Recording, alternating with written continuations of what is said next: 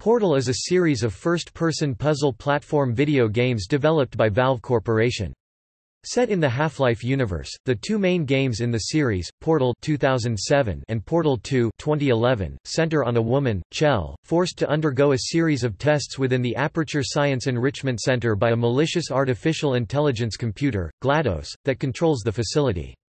Each test involves using the Aperture Science handheld portal device, the portal gun, that creates a human-sized wormhole-like connection between two flat surfaces.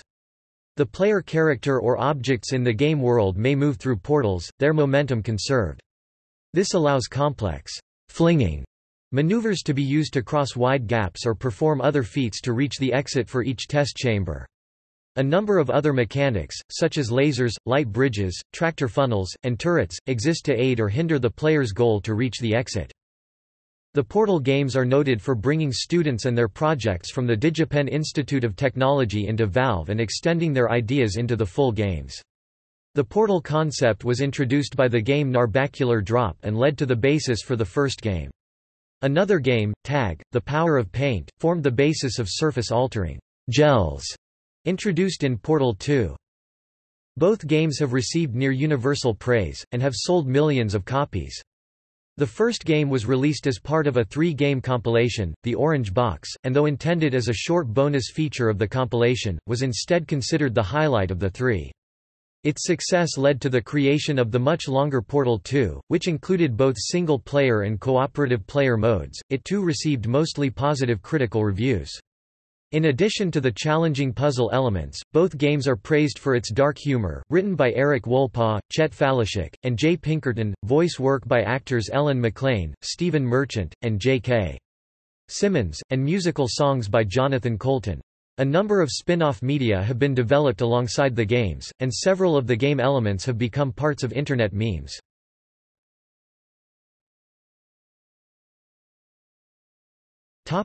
Setting and characters Both Portal games take place in the fictional Aperture Science Enrichment Center. Aperture Science was founded by Cave Johnson voiced by J.K. Simmons and originally sought to make shower curtains for the military. Its research happened upon the discovery of portal technology, and soon became a direct competitor with Black Mesa Research Facility from the Half-Life series for government funding. Johnson acquired the rights to a disused salt mine in the Upper Peninsula of Michigan, where they started building a labyrinthine set of offices, laboratories, facilities, and test chambers. During this time, Johnson became poisoned from exposure to moon dust, a key component of the paint needed for the portal technology, and became increasingly deranged. In Portal 2, the player explores these long-abandoned areas of Aperture, learning that the company had moved from testing on the country's finest, to paid volunteers, and ultimately to forcing its own employees to participate in testing. Near the point of his death, Johnson ordered his lifelong assistant Caroline voiced by Ellen McLain to be the first test subject for a mind-to-computer transfer. Her personality would ultimately form the core of GLaDOS also McLain. Sometime after Johnson's death, the old sections of the facility were vitrified, and a more modern facility built atop those ruins.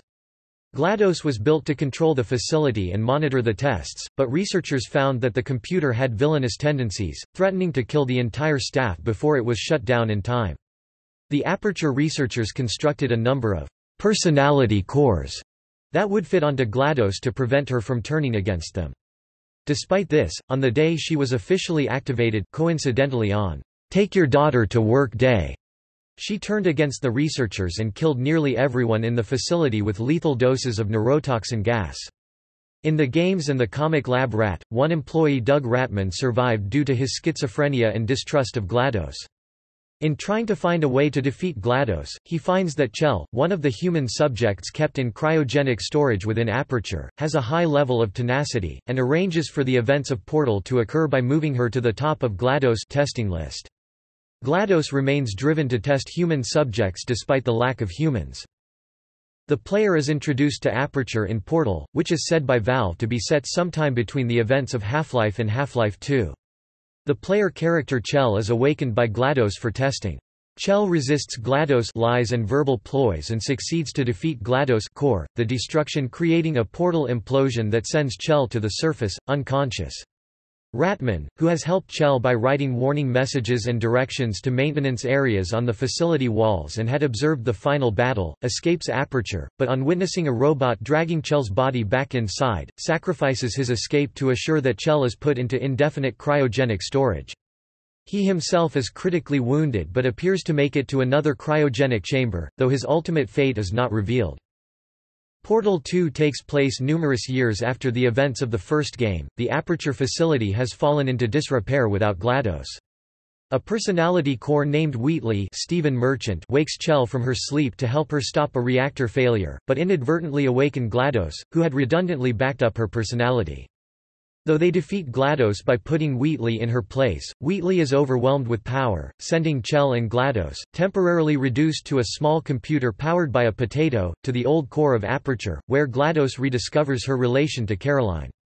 They return to the surface where they are forced to defeat Wheatley before his ineptitude with the Aperture systems causes the facility reactors to become critical and explode. GLaDOS is returned to her rightful place and returns the facility to normal. GLaDOS then lets Chell go, realizing that the prospect of trying to kill her is too much trouble.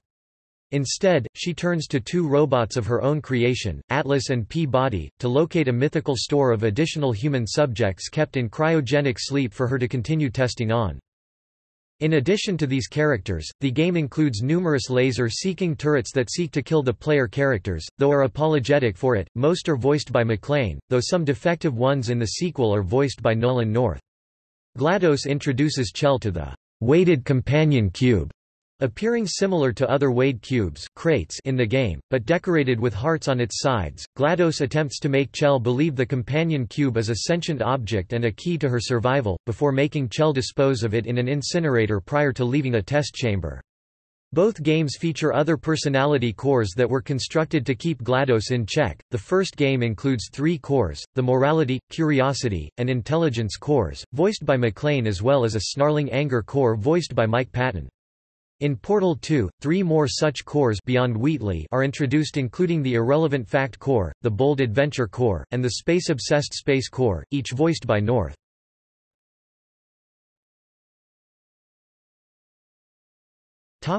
Gameplay. The player controls the main character Chell in the single-player campaigns, or one of Atlas and P-Body in the cooperative mode from a first-person view, running, jumping, and interacting with switches or other devices. The player characters are able to withstand large drops, but can be killed by falling in the toxic water of the facility, crushed to death, passing through laser grids, or fired on repeatedly by turrets.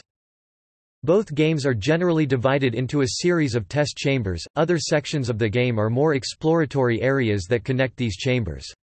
Each chamber has an exit door that must be reached, often requiring that certain conditions have been met such as having weighed down a large button with a weighted cube, effectively a crate. These puzzles require the use of the Aperture Science handheld portal device, the portal gun. The gun can shoot two portals, colored differently for identification, on any flat surface that is painted with a specific paint containing moon dust.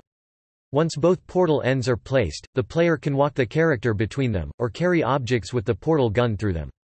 Portal ends can be repositioned as often as necessary, but certain actions, such as walking through emancipation grills or moving a surface with a portal will cause the portals to dissipate.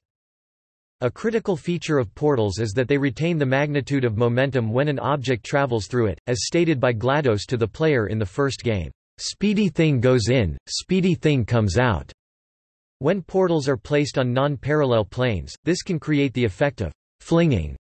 Commonly, one uses gravity to build up their momentum when they fall into a portal, which flings them out of the other side to gain speed and distance that normal jumping and running could not generate. A leapfrogging effect can be used by placing portals in series during this flinging, gaining further momentum with each use. Portals will also allow light and other objects to transfer through them, and numerous puzzles involve using portals to manipulate bouncing energy balls, lasers, hard light, bridges, and tractor beams to access new locations or direct objects to specific receptacles that must be activated to open the level's exit. Portal 2 introduces mobility gels that can paint surfaces, including turrets and cubes, that can also move through portals though not directly by the player. The gels can create a surface that repels the player repulsion gel, increases the player's speed propulsion gel, or allows the surface to accept portals conversion gel.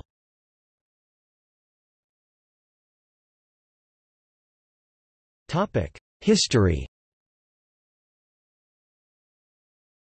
The concept of Portal was born out of a student project from the DigiPen Institute of Technology, entitled Narbacular Drop.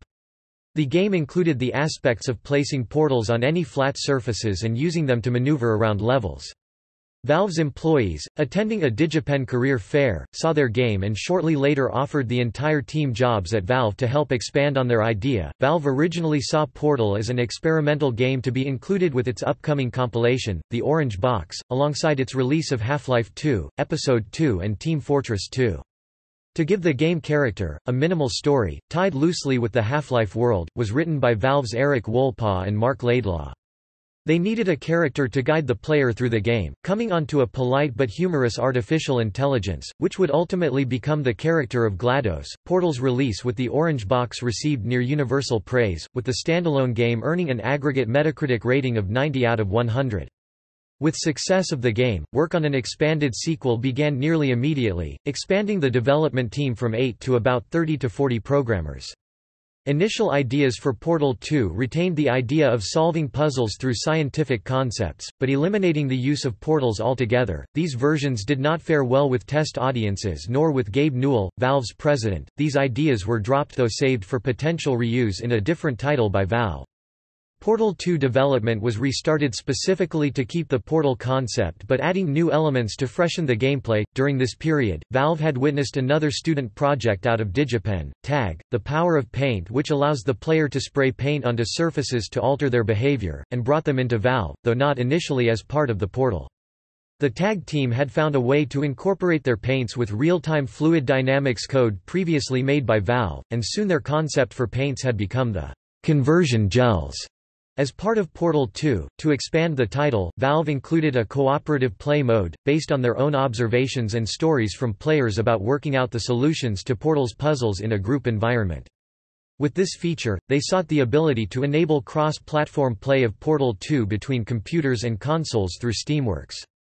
This led to a surprise reveal by Newell that not only would Portal 2 be on the PlayStation 3 platform, after previously stating the difficulties in supporting this console, but that it would include support for cross-platform play between personal computers and PlayStation 3 players through a limited Steamworks interface. With the larger title, Valve brought in writer Jay Pinkerton formerly with National Lampoon, and Left 4 Dead writer Chet Faliszek to assist Wolpaw with the larger story. They built on the character of the Aperture Science Facility, providing a deeper story for GLaDOS and Aperture's CEO Cave Johnson, as well as developing several concepts for personality cores. Ultimately to the creation of the Wheatley core character, Portal 2 was similarly released with high praise with a 95 out of 100 score on Metacritic.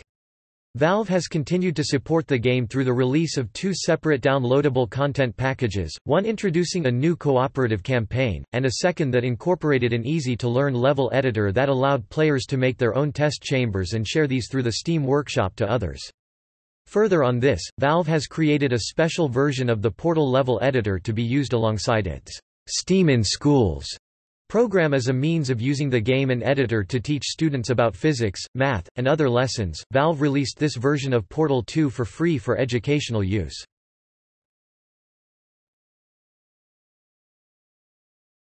Topic: Games.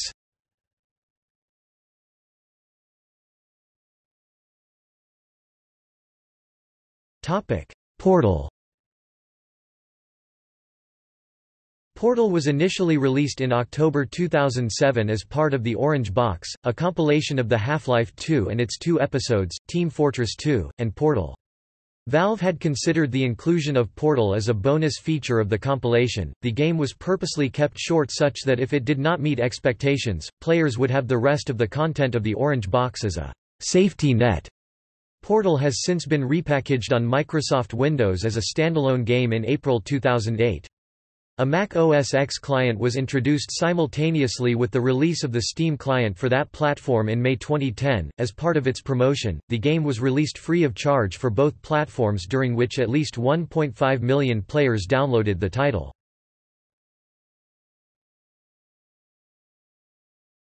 Topic: Portal, still alive. Portal, Still Alive was a standalone version of Portal with additional content for the Xbox Live Arcade, released in October 2008. The game included new achievements, additional challenges from the existing test chambers, and additional non-story levels based on those found in the Flash-based Portal, the Flash version created by We Create Stuff.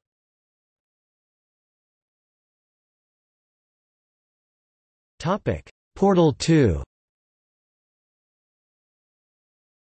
Portal 2 was released as a standalone game in April 2011 on both computers and consoles.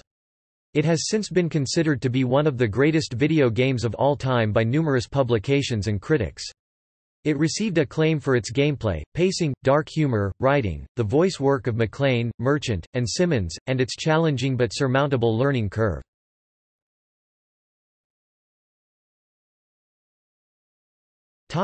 Spin-off and related media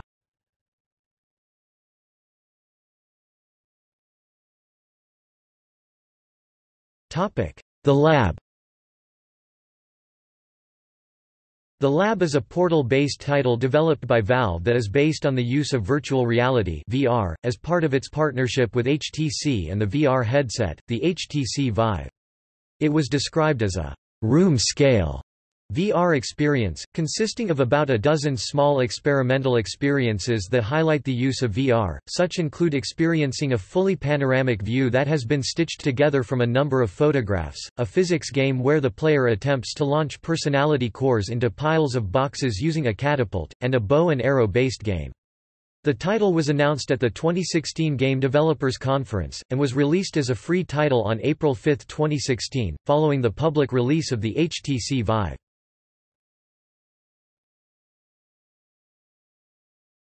Topic: Bridge Constructor Portal. Valve licensed the use of Portal to Headup Games and Clockstone Software, the developers of Bridge Constructor, to develop Bridge Constructor Portal. The game follows the same type of gameplay as Bridge Constructor, where players are tasked to create a bridge from a limited set of parts to cross a river or chasm, using physics simulations to test if the bridge will hold up against traffic crossing it. Bridge Constructor Portal adds in elements from the Portal series, such as portals, as part of the construction challenge. The game is set within Aperture Laboratories, with the puzzles monitored by GLaDOS. The game released on December 20, 2017 for personal computers and mobile devices, and later in 2018 for PlayStation 4, Xbox One, and Nintendo Switch consoles.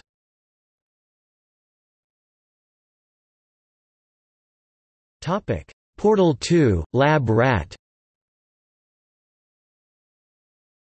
To help develop the fictional history of Aperture Science, Valve created a digital comic to tell the story of the Rat Man, a schizophrenic who is unseen in the games themselves but creates murals and scrawlings that guide Chell in both games.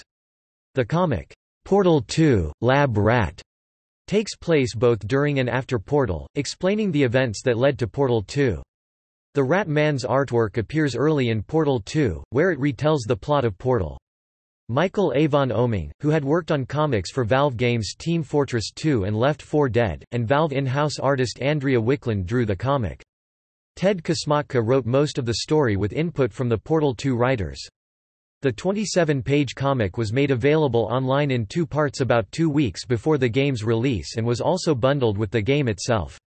Dark Horse Comics has published Portal 2, Lab Rat. In a printed anthology of Valve comics, Valve presents The Sacrifice and Other Steam-Powered Stories. In November 2011, in the comic, Doug Ratman, also known as the Rat Man, is a scientist working in the Aperture facility. He escapes GLaDOS's initial neurotoxin attack, but suffers symptoms as his schizophrenia medication runs out, causing hallucinations of his weighted companion cube talking. Noticing that Chell is uniquely tenacious among the test subjects held by Aperture, Ratman moves her to the top of the queue of testing subjects, thus starting the events of the first portal. After Chell defeats GLaDOS, Ratman escapes Aperture, but returns against the companion cube's objections when he sees the party escort bot dragging an unconscious Chell back inside and into a disabled cryo chamber.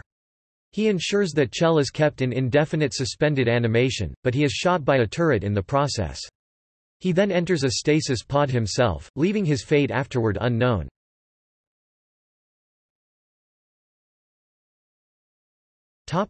The final hours of Portal 2 The Final Hours of Portal 2 is a digital book written and created by Geoff Keighley.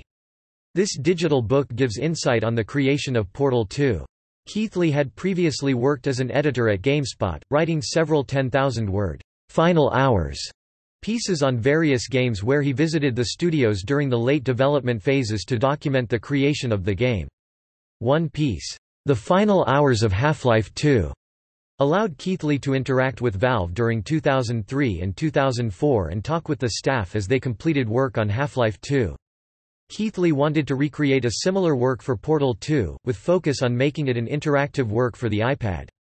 Keighley was granted fly on the wall access to Valve when Portal 2 was being produced. The initial iPad release was written by Keighley with work by Joe Joseph Design, a studio that had also produced digital applications for Time magazine. The interactive work provides movie clips and short applications to demonstrate the various mechanics of the game and stages of the game's development. The work was later ported into a non-interactive ebook, and into an application with the same iPad interactivity on the Steam platform. With the iPad and Steam version, Keighley is able to offer live updates to the work. Upon release of the peer review Downloadable content pack, the work was updated with an additional chapter discussing the creation of the new content and what new features players could expect in the future from Portal 2.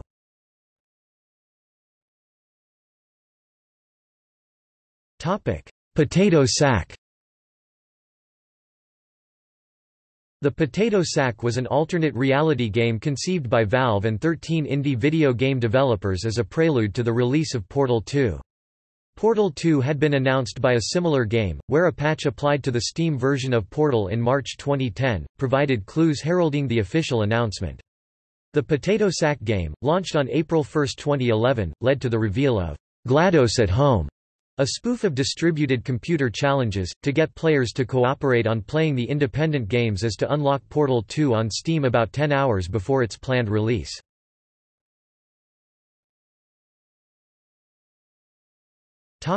Portal, in cooperative cake acquisition game A board game version of Portal, developed by Cryptozoic Entertainment with oversight from Valve, was released in 2015. Titled Portal, uncooperative cake acquisition game, the game is based on players manipulating their tokens, which are representative of unwitting test subjects, through various test chambers in the Aperture laboratories. The goal being to test the most lucrative chambers while attempting to stall the progress of other players.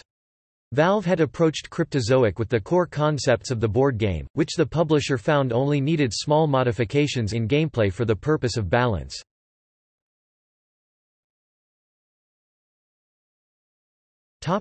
Merchandise Valve has sold several Portal-based prints, T-shirts, and other memorabilia through its own store, often riding on the popularity of certain memes that the series has created. When first released, both were sold out in under 24 hours. Valve has also teams with other vendors for similar merchandise. WizKids will be releasing collectible miniatures of the turrets within the game.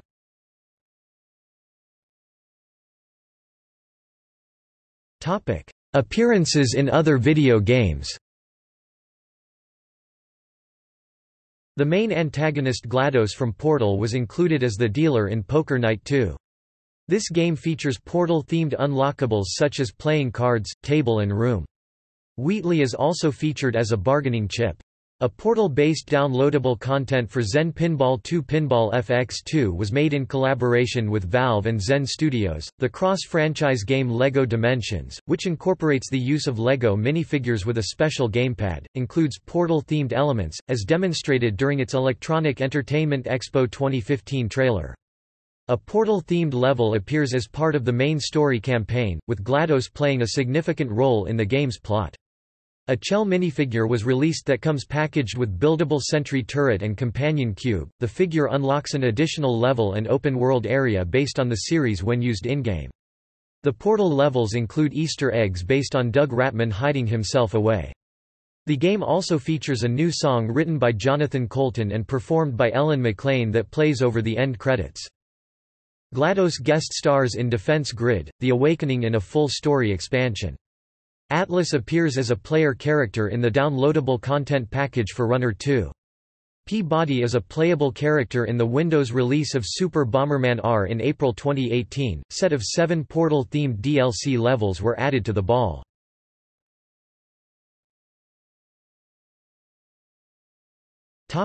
Unofficial media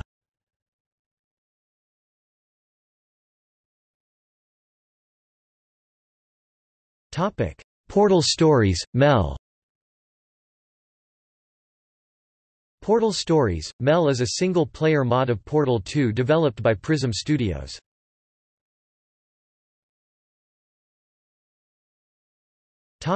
Aperture Tag, the paint gun testing initiative Aperture Tag, the Paint Gun Testing Initiative is a 2014 first-person puzzle platform video game developed by the Aperture Tag team.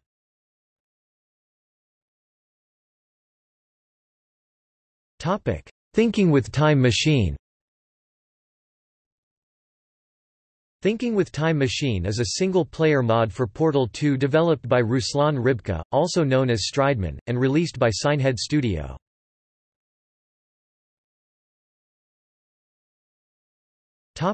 Mari Zero Mari Zero is a fan-made video game that combines elements of the video games Super Mario Bros. and Portal.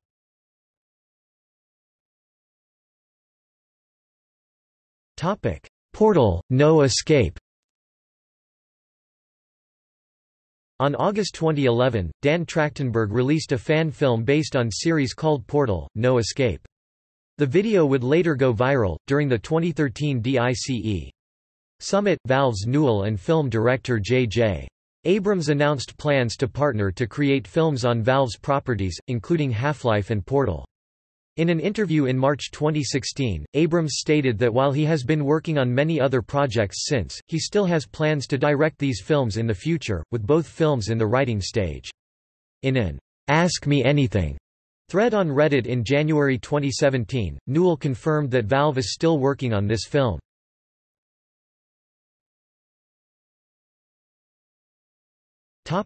In education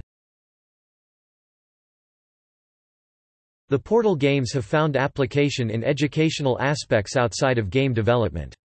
The first game was praised as an example of instructional scaffolding where the student is first given an environment to learn new tools with sufficient hand-holding, but these facets are slowly removed as the student proceeds. At least one college, Wabash College, introduced Portal as part of required coursework. At Wabash, the game is used as an example of Erving Goffman's dissemination on dramaturgy, the presentation of self in everyday life. At a mid 2011 presentation at the 2011 Games for Change Festival at New York University, Gabe Newell stated Valve's intention to direct Portal and Portal 2 towards education.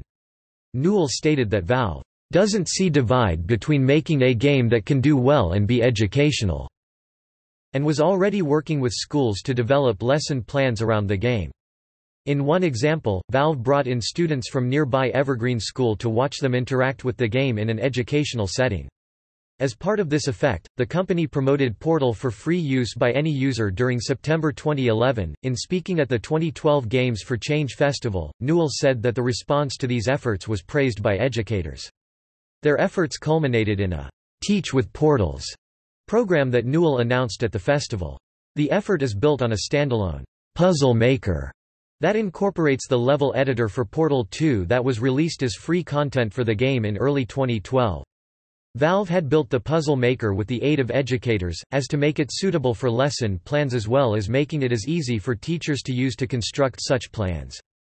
The puzzle maker is not limited to physics, but designed to be modular so that other fields, such as fundamental electronics or chemistry, could be included. The Teach with Portals initiative is built atop of a stripped-down version of the Steam client, Steam for Schools, that is designed to be used in schools, allowing instructors to control the installation of the games and lesson plans on the students' computers. These tools, as well as copies of Portal 2 and the Puzzle Maker, are being offered for free for all educators.